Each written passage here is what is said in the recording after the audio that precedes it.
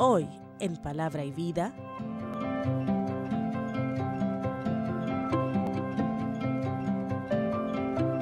Bien, vamos a introducir entonces el curso del Nuevo Testamento. El Nuevo Testamento es un mundo fascinante. Es fascinante. Hemos hecho un curso del Antiguo Testamento. Y es un curso que a uno le abre un horizonte. En el curso del Nuevo Testamento, a uno no le va a sorprender eh, como en el Antiguo Testamento las novedades, porque uno está acostumbrado a ver de una u otra manera el mundo griego, el mundo romano, y ya uno lo ha leído en los evangelios. Uno está mucho más familiarizado que en el Antiguo Testamento, donde uno veía los persas, que sí, los babilonios, y todo ese mundo, uno tenía que entrar a conocer todo lo que era, primero la, la situación cultural, después la situación de la potencia dominante, todo el mundo, porque el Antiguo Testamento, lo importante de estudiar el Antiguo Testamento es aprender a encontrar el contexto en el que está. Si usted ubicó el, el texto del Antiguo Testamento, ya tiene el 90% comprendido. Si sabe que era con Ciro el persa que pasó aquí, que llegó acá y entendió el contexto, ya usted entendió. ¿Por qué? Porque en el hebreo lo más importante es la narrativa. En el hebreo son muy ricos los verbos. Hay muchas variedades de verbos y por eso el verbo es tan fuerte que la narrativa, que, usa mucho el verbo, es lo más fuerte en el hebreo. Y por eso las historias en Israel son esenciales. En el Nuevo Testamento es otro mundo. En el Nuevo Testamento la lengua va a ser el griego. Y en el griego, lo más importante, van a ser siempre los conceptos. Los conceptos son los importantes. El mundo, el, la lengua griega es la lengua de los griegos, de los filósofos. Y el alemán se parece mucho al griego en muchas de las formas, por lo tanto también el alemán es otro de la, de lengua de los, de los filósofos también, porque son lenguas que se, que se prestan mucho a los sustantivos. en el alemán los sustantivos se ponen en mayúscula, todos los sustantivos en mayúscula. Imagínense, qué importante es el sustantivo, qué importante es el concepto. Y por eso en el Nuevo Testamento no es tan importante el contexto en el que uno está leyendo, sino desde la teología y el concepto del que está diciendo fe. Cuando dice fe, ¿qué quiere decir? Cuando dice salvación, ¿qué quiere decir? Y uno aprendiendo bien los conceptos va a poder entrar en el texto mucho mejor que en el Antiguo Testamento, que más bien a, a través de la, del contexto histórico en el que uno estudia. ¿Ven? Este también no es menos fascinante, es más fascinante todavía el mundo del Nuevo Testamento. ¿Cuál es la gran novedad del Nuevo Testamento? La persona de Jesucristo. ¿Cómo yo compararía el Antiguo y el Nuevo Testamento? Yo lo compararía con un vuelo, un vuelo que se hace primero de noche. Me imagino que algunos de ustedes habrán hecho algún, eh, han volado de noche en avión. Han venido, por ejemplo, venir de Miami para Santo Domingo en avión uno va descubriendo muchas luces. Y uno cuando va, llegando, que el avión va bajando, uno dice, bueno, eso debe ser Bonao, pero quién sabe. Eso parece Santiago, pero uno lo ve, pero en penumbra, lo ve como en luces, pero todavía luces que no están claras. Y ese vuelo uno lo hace suponiendo muchas cosas. Y llegó el vuelo aquí, perfecto. Pero ese vuelo después, uno vuelve a hacerlo de día. Cuando ha salido el sol y el sol está iluminando todo y todo se ve mucho más claro uno va en el avión y dice, mira Santiago, mira el monumento aquí, mira aquí la Vega, mira, mira la presa, aquí, y uno va llegando y todo lo ve tan claramente que todo el, el vuelo es otra cosa. Es la misma realidad, pero el vuelo es otra cosa. Es así también el, Antiguo y el Nuevo Testamento. Es el camino por la historia, pero una historia ahora iluminada por aquel que llamamos el sol de justicia, que es Jesucristo que está en el cielo iluminando y permite comprender mucho mejor toda la historia. Un vuelo de día que permite descubrir en cada momento qué significa los acontecimientos y uno va descubriendo que la historia se ve más claramente en las manos de Dios. Por eso la persona de Jesucristo le añade aquí un, una nota muy especial. Otra nota especial dice, decía un teólogo español, que sea el Antiguo como el Nuevo Testamento, comienzan con la palabra hágase. En el Antiguo Testamento, Dios dice, hágase la luz. Y la luz se hizo. En el Nuevo Testamento hubo una mujer que un ángel visitó y le ofreció un plan. Le ofreció ser colaboradora de un cambio radical de la historia, la Virgen María. Y cuando el ángel le propuso el plan, ella dijo, hágase. Y eso dio pie al Nuevo Testamento. Por eso los teólogos dicen que la, la, división exacta entre el Antiguo y el Nuevo Testamento es el sí de María. Y es cierto, porque el sí de María inmediatamente activó la presencia del Verbo hecho carne, la encarnación.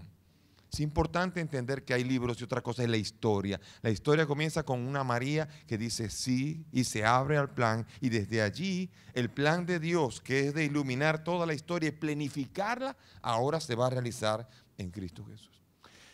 Bien, la promesa cumplida. El Antiguo Testamento es la historia del pueblo de Israel. El Nuevo Testamento es la experiencia de la visita de Dios a ese pueblo. El pueblo de Dios vivió una historia y después Dios mismo la visita y cumple todo cuanto promete. Ambos son diferentes pero están relacionados. Imposible hablar de, cumplimiento sin promesa. Es imposible pensar en una promesa de Dios que no se cumpla.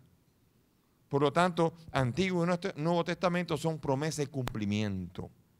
Y por esto, esa es la clave con la que podemos leer nosotros el Nuevo Testamento. Si uno se asoma, y aquí podemos ver en las notas que tienen, si uno se asoma por el Nuevo Testamento, uno verá ahí promesas extraordinarias, salpicadas en la historia. ¿Se acordarán ustedes cuando dimos el Antiguo Testamento, cómo en la historia, eh, en la historia, cómo había una gran cantidad de profecías diversas? Y todas ellas tienen, todas ellas confluyen en una misma realidad. Todas ellas confluyen en el cumplimiento de esa promesa en la persona de Jesucristo. Por eso eh, es importante entender que estas profecías seguramente en el mundo de, de los mismos profetas que lo decían, no debían entender bien qué significaba. Deuteronomio 18, 17 y 18, yo suscitaré entre ustedes un profeta como yo, dice Moisés. Dios le dice a Moisés, va a suscitar un profeta grande. El profeta, que por eso en el capítulo 1 de Juan le van a preguntar, ¿eres tú el profeta? A Jesús, porque el profeta es alguien que todo el mundo estaba esperando. Pero ¿quién sabía quién era? El profeta. También eh, el, Salmo, eh, digo, el, el Salmo 22, igual que el Isaías 52, ya hemos estudiado esto, viendo cómo se destaca, cómo describe la muerte de Jesucristo diciendo que puedo contar mis huesos, mis llagas y todo, y por las llagas se, se, ha sido curado el pueblo. Y uno dice, ¿de quién está hablando? Y cuando uno ve a Jesucristo, uno dice, bingo, aquí está. Y uno no puede sino ver eso en, en tantas. Isaías 7:14, he aquí una virgen que está encinta. Uno dice, ¿qué significa una virgen encinta? Y entonces ver a, María en esa, esa mujer que dice que sí y que se cumple y le pondrás por nombre Manuel. Qué, qué, qué belleza, qué precisión. 800 años antes, el profeta Isaías anuncia una realidad que se cumple.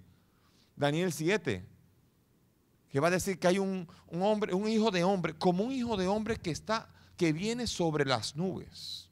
En lenguaje apocalíptico está diciendo, un hijo de hombre significa un hombre, y montado sobre las nubes significa que tiene una categoría que entra dentro de la esfera divina y que viene a la tierra. Deuteronomio 7, digo Daniel 7. Qué, qué impresionante. El Hijo del Hombre. Y de hecho, como dice un Hijo de Hombre, Jesús constantemente, para que sepan que Él es el que se cumple en Daniel, dice, el Hijo del Hombre no tiene dónde reclinar la cabeza. El Hijo del Hombre constantemente, Él se va a autodefinir. El Hijo del Hombre haciendo referencia a que en Él se cumple el capítulo 7 de Daniel. ¡Qué belleza! Así también, Zacarías, Zacarías, mirarán al que traspasaron. Que el mismo evangelista lo dice, así se cumplió la profecía mirarán al que traspasaron. Y Miqueas que dice de ti y de Belén saldrá aquel que ha de pastorear con vara firme a Israel, con un cetro que no tendrá fin jamás. Imagínense. Uno dice, ¿y quién sería este? Y ahora viendo a Jesucristo y viendo en la persona de Jesucristo toda esta historia, que toda confluye en Jesucristo, uno puede decir, caramba, yo creo que por eso es que Jesús le decía a los suyos, muchos profetas quisieron ver esto que ustedes ven y no lo vieron. Y muchos profetas quisieron oír esto que ustedes oyen y no lo oyeron. Porque era tan denso, todas esas profecías cumplidas en una misma persona. Es impresionante. Es una realidad verdaderamente impresionante. Y por esto, el Antiguo Testamento es un legado del pueblo de Dios y el Nuevo Testamento consistirá constantemente en el cumplimiento de todas las promesas, de todo lo que, lo que los profetas, de todo lo que los hombres de Israel del Antiguo Testamento estuvieron esperando. Todo el cumplimiento se da en Cristo Jesús. Esa historia es maravillosa. Pero después de que hemos visto en la historia cómo por un tiempo fue Egipto la la nación dominante, después fueron los asirios y así, así fueron los, persas, los babilonios, los persas y así fueron llegando finalmente unos que fueron los que suscitaron un encuentro con lo que yo puedo también definir el Nuevo Testamento. Yo puedo definir el Testamento como el encuentro de dos mundos, dos mundos completamente diferentes, dos mundos que no se van a encontrar nunca más como se encontraron en esa ocasión. Eh, por esto entonces, sin lugar a duda, este encuentro es único en la historia.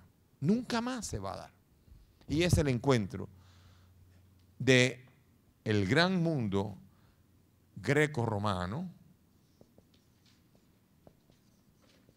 Hablamos de greco-romano porque aquí estamos hablando de, todo lo que comenzó, todo lo que suscitó el imperio griego con su cultura, con su capacidad, con su extraordinaria capacidad de lógica, de pensamiento, va a desarrollar uno de los sistemas más impresionantes y una de las culturas más extraordinarias que va a existir jamás en la historia de la humanidad.